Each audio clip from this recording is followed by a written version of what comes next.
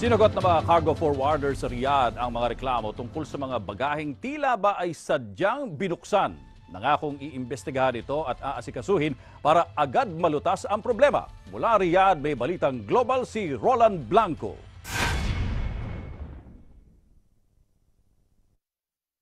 Naabutan namin ang operations head ng Merex Forwarder na nagpapaliwanag sa isang kliyente sa bagaheng hindi pa nakakarating sa Pilipinas.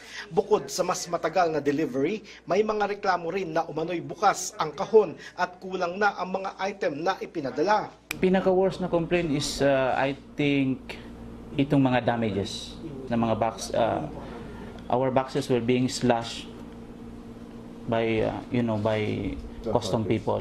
Suspetsya ng Merix, bara-bara ang ginagawang pagbubukas ng mga hired personnel ng Jeddah Custom para suriin kung may bawal na kargada ang mga bagahe.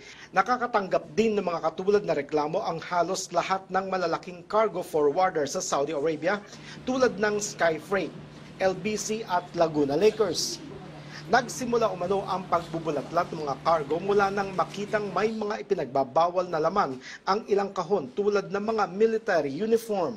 Dati kasi, they are just scanning the containers. Now, not only scanning the containers, they are, they are unloading all the cargoes from the containers and they are checking it one by one. Matapos na masuri ng custom authorities, hindi na raw na ibabalik sa dating itsura ang mga kargamento.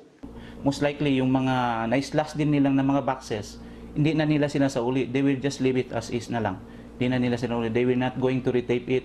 They will just leave it. Ganon na lang. Pagdating ng mga nabuksang kargamento sa warehouse sa Maynila ay dagdag antala ang pagsasaayos ng mga nabuksang kahon. Dati 45 araw inaabot ang shipment ng sea cargo pero ngayon halos apat na buwan.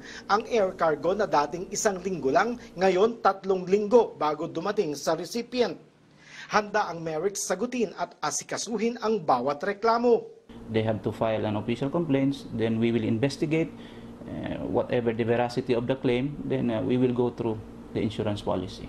Para maiwasan ang aberya, iisa ang pakiusap ng mga cargo forwarder. Huwag magpadala ng mga bawal na mga gamit o bagay sa air cargo tulad ng pabango, baterya, alahas at sea cargo tulad ng zamzam water, firearms at maging pera. Roland Blanco, ABS-CBN News, Riyadh.